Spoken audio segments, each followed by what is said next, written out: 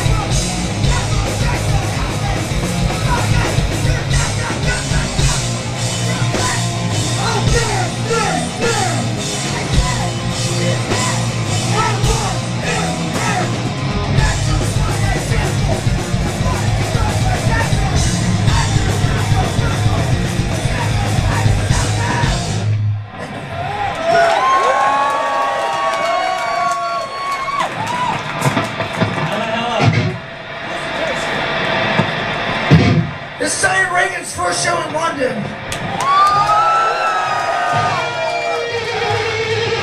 Let's party. The song's called Close to Toast.